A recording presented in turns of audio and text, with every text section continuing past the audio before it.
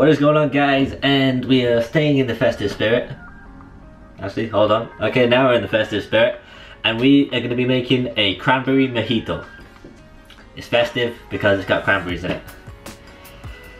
And for this, you can either have cranberry juice or you can make your own cranberry simple syrup. And I recommend doing the cranberry simple syrup. I made it like previously and we're gonna cut to me showing you how to make it now. So yeah, it's like the second time in a row that I'm by the stove top. Which you know, it never usually happens, does it? That's weird. But yeah, this is just making the uh, cranberry simple syrup.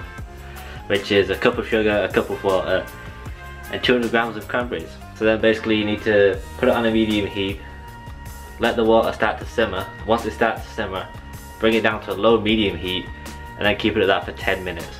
Okay, so it is now off the heat. There you go. 10 minutes is up. Some of the berries are gonna burst, at least some of mine burst. So we're just gonna assume that that's just what happens. And yeah. We're gonna let it cool down. You can like let it cool down and then as soon as it's cool, pour it. Or you can let it cool down overnight.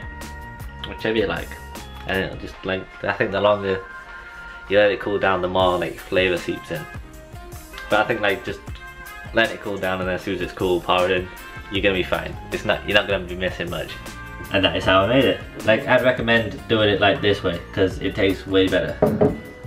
For that so you need the cranberry simple syrup, white rum, mint, a lime, well half a lime, and soda water.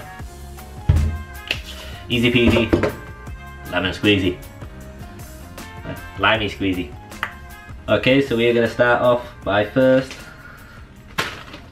with the mint. Need 8 or 10 leaf, mint leaves in this. I'm going to cut this bit because I always like speed up me putting the mint leaves in. Just trust me that there's 8 or 10 in there. Or 9, who knows. I need half a lime.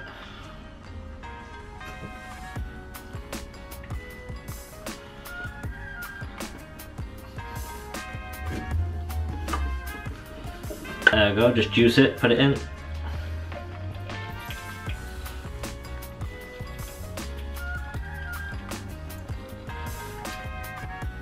Now we muddle the lime and the mint together, nice and gently.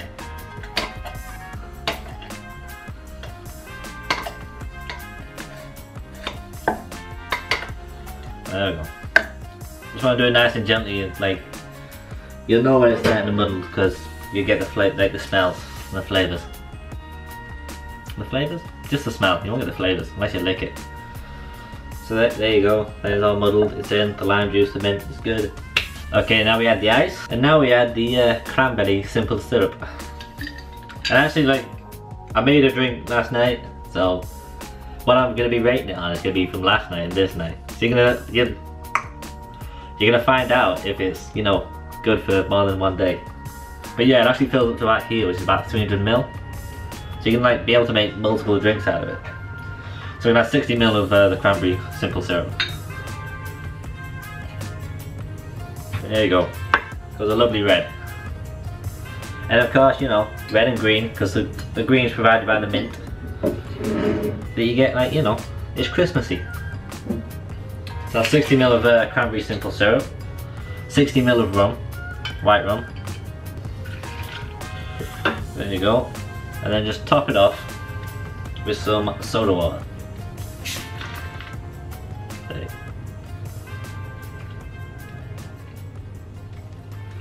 There. You go. And then because I've got some cranberries left over, a lovely bit of garnish at the tops of one of the mint leaves. There you go. Bit of that. Stick in a very festive straw. And boom, and there you go. That is the cranberry mojito. Perfectly festive, lovely to drink. Right? And look, layers, layers. We all like that, don't we? I mean, you know, you don't have to use cranberries as a garnish or the mint. I'm basically doing it because it looks good in the thumbnail, so. There. Let's give you a better look, a nice closer look. There you go. Hey. It looks good, doesn't it? It looks good. There we go. Nice, good stir.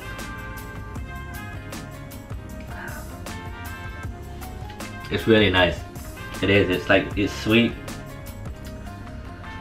which is just like great. Like if you want like a nice sweet drink, then this is it. Like I thought the like the cranberries would have given it a bit bitter. But it's not, you can barely taste the.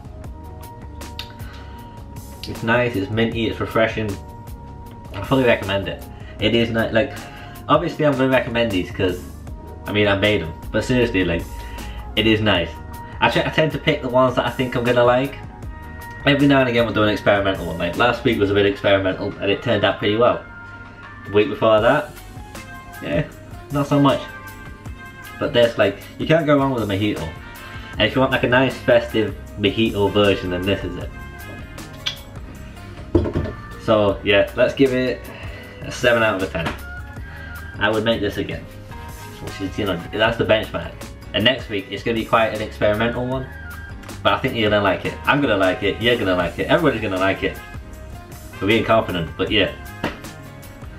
So stay tuned for next week. Thanks for watching guys, take care, peace, love and hugs, and I'll see you when you see me.